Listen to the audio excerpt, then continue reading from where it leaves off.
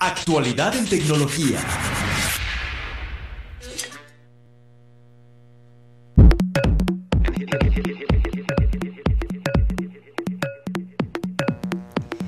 Y bien, es día de tecnología. Está con nosotros vía telefónica Arturo Álvarez, a quien le doy la bienvenida. Arturo, ¿cómo estás? ¿Qué tal, Angelina? Buenas tardes, muy bien. ¿Y tú? Qué Mm, saludarte a ti y a tu auditorio. Muy bien, gracias Arturo, como siempre, un placer recibirte. Y hoy nos vas a platicar del lanzamiento del Falcon Heavy al Sí, espacio. ahora, sí, ahora sí que actualidad en tecnología, tal Sí. cual, porque eh, se habrán notado, ha- sido uno de los temas que han estado muy, muy fuerte desde ayer. Una compañía privada llamada SpaceX lanzó ayer al espacio lo que es el cohete más potente de la historia, en lo que fue una prueba de vuelo ¿Qué que eh, llevó un auto convertible rojo con un astronauta de plástico al espacio. en pocas palabras, eso es lo que sucedió ayer, pero que tiene muchísimo significado en lo que es eh, el avance en la tecnología en aeronáutica, porque bien pudo haber fallado y explotado todo antes de, de despegar, pero todo salió prácticamente a la perfección, lo cual indica que van por buen camino para lograr el sueño de Elon- Musk, el dueño de SpaceX, de llegar a Marte en 2022. Que no creo que ocurra en 2022, pero en algún momento lo va a hacer. Sí, caray, ya está muy cercana la fecha, sonaba lejana, pero no, ya no falta tanto, ¿no? Exacto, y tienen años trabajando en esto. El lanzamiento del Falcon Heavy, que es un cohete formado por tres grandes cohetes que puede llevar una carga de hasta 64 toneladas, es uno de estos pasos que va a permitir llevar un transbordador ya tripulado con personas o eh, satélites, o no, no, no dejemos de olvidar que esto es un negocio, entonces ellos hacen esta prueba para que todo el mundo lo vea y para que las compañías satelitales, para que compañías como la NASA digan, ah, mira, ten dinero y hazlo tú por mí. Oye, si, si te hiciera la invitación de vamos a, a, a disfrutar de ser los primeros humanos en estar en Marte, ¿te aventarías? Oh, sí.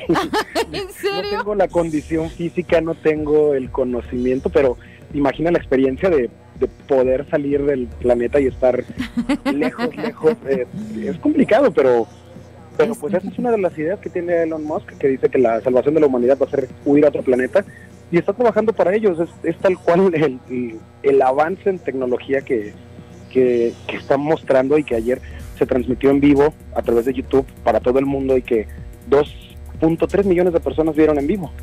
Oye, Arturo, y además, fíjate que aunque no em, seamos expertos, a lo mejor, eh, y que no seamos astronautas, desde el tema de, de ver el cohete, eh, yo creo que, bueno, este, este aparato, yo no, no me atrevo a decirle, eh, categorizarlo en, en algún eh, término, pero es que ya desde verlo eh, es otra forma, otra, otra tecnología, ¿no?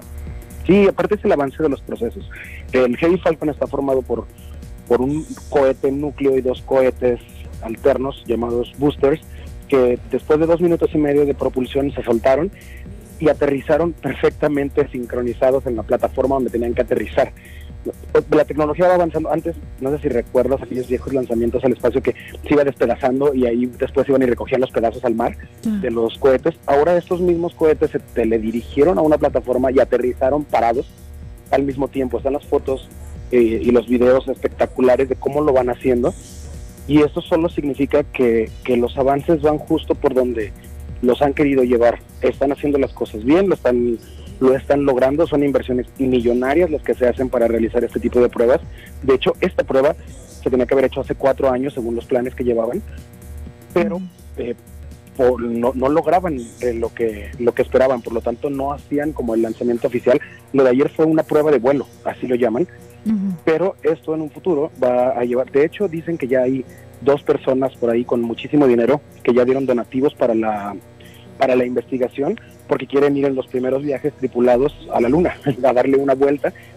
Dicen que probablemente no, no puedan aterrizar en la luna porque eso ya implica costos muchísimo más altos, pero sí darle una vuelta a la luna y después regresar a la Tierra. Fíjate También que se va a hacer turismo. Claro, eh, y, que hay, hay una fila larga de personas con ese deseo de, de ser, eh, ahora sí que de, los que puedan hacer historia, ¿no? En, no solo en conocer, sino habitar, ¿no? Otro lugar, sea... eh, pues yo creo que ese es el sueño del ser humano desde hace bastantes años, no sea Marte, o sea, donde sea, eh, eh, lejos de la Tierra, ¿no? Y primero hay que investigarlo para poder saber a qué se enfrenta uno.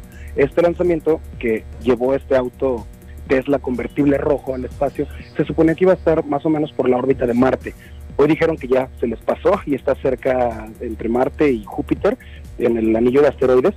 Y todo esto obviamente lleva cámaras que transmiten hasta acá, permite eh, realizar una investigación más profunda de cómo son las condiciones de aquel lado para poder saber a qué se pueden enfrentar en una misión tripulada y no necesariamente perder vidas al arriesgarse en hacerlo eh, con humanos desde la primera ocasión. E, ¿Esto podría, em, la radiación podría afectar el, automóvil, ¿no? El Telsa, tengo entendido. Sí, sí, sí, y, eso están esperando con las pruebas. También este, este Starman que llamaron, el, piloto eh, maniquí que lleva el auto, que aparte va sonando Space Oddity de David Bowie en el estéreo del carro todo el tiempo, aunque en el espacio no se escucha, pero ahí va dándole play. Eh, es el, el, traje que van a usar los astronautas de SpaceX. Entonces es una prueba también para el traje, para ver cómo resiste todas las condiciones a las que puede enfrentarse en el exterior. O sea, hasta lo que parece que es puro adorno, no deja de ser una prueba científica que se está realizando en este momento. Todo tiene porque y el auto está increíble, dicho sea de paso, ¿eh? Oh, es, la otra diversión de más que hacer estos carros. Eh, con tanta tecnología y también tan costosos. Claro. Oye, y, y que mm, solo con ver el video ya te sorprende eh, eh, este mm, pues este arranque, ¿no? Cómo se fue eh, de una manera tan tan fina, ¿no? Estamos acostumbrados al, al cohete que como bien decías detona y se va, lo vemos que se va, ahora sí que a toda máquina y acá es un despegue tan fino, tan que hasta por momentos pareciera en cámara lenta, sabemos que no es así, pero es tan fino que, que la verdad es que se nota muchísimo cómo se ha avanzado en esta materia, ¿eh? Sí, por algo se retrasó tantos años, para poder lograrlo de la manera en la que lo quieren.